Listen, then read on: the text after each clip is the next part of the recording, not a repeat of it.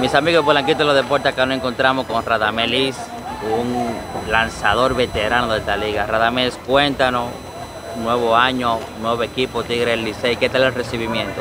Bueno, más que bien, eh, como dije en una entrevista, eh, aquí hay muchos jugadores con los cuales yo he jugado en otros equipos y, los conozco. Eh, me sentí cómodo de una vez, un respeto, mucha unión, me ha gustado bastante.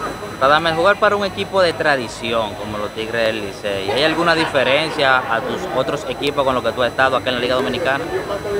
Bueno, eh, este ha sido un equipo que tal vez muchas personas o lo odian o lo aman. Y es uno de los equipos que más fanáticos tiene aquí en el país.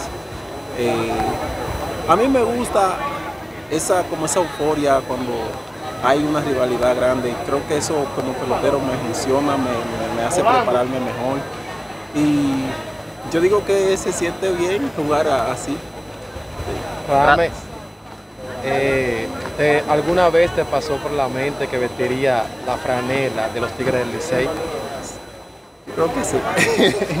sí, porque sé que este equipo siempre quiso firmarme. Yo también eh, quería darme la oportunidad porque nunca había jugado con otro equipo eh, que no sea las estrellas. Y bueno, se dio el caso y aquí estoy. Sí, Radamés, eh, estas nuevas reglas ahora que hay acá en Lidón, ¿cómo te ha ido familiarizando con ellas? Bueno, el primer juego fue un poquito difícil, pero ya para el segundo juego ya le cogí el timing. de verdad que yo digo que siento que le han quitado un poquito la esencia del béisbol, pero es lo que hay, lo que hay que adaptarse. La agencia libre, o sea, ¿qué tal Radamés? O sea, ¿ha sido de beneficio para ustedes, los jugadores?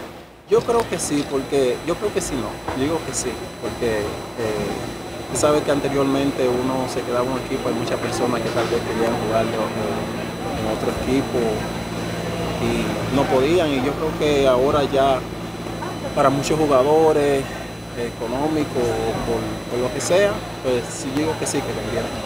La rutina de trabajo para un lanzador veterano como tú, o sea, tiene que hacer sesiones de bullpen cuántas veces a la semana o el día antes de lanzar. Bueno, no, a mediados de, de, la semana, o sea, faltando dos días, uno tira un bullpen, eh, depende, si, si, el brazo está explotado, como decimos nosotros, pues nos tiramos.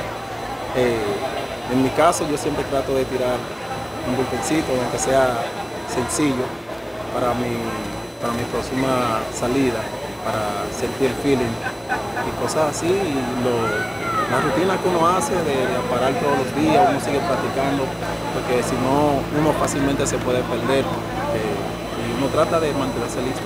Es Radamés Liz un mentor para los lanzadores jóvenes, donde quiera que está tanto en las estrellas orientales como ahora en los Tigres del Licey.